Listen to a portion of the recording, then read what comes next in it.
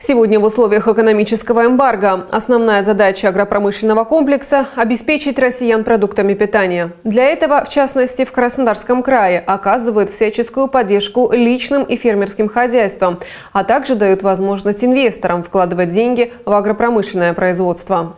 Сложно поверить, но еще недавно здесь росли сорняки. Эти площади земли в Пшевском сельском поселении считались залежными. Десятки лет они не использовались по назначению. С этой весны участок чуть больше 60 гектаров взяли в аренду российские инвесторы. Для того, чтобы построить вегетарии, высадить в них рассаду и выращивать томаты, привлекли 12 китайских рабочих. Для получения высоких урожаев применяют технологию капельного орошения. И, как утверждает агроном этого сельхозпредприятия, при этом не используют используют никакой химии. На благодатной почве овощи сами собой растут. Высокая конкуренция на рынке труда приучила их народ упорно трудиться. Работают они практически круглосуточно.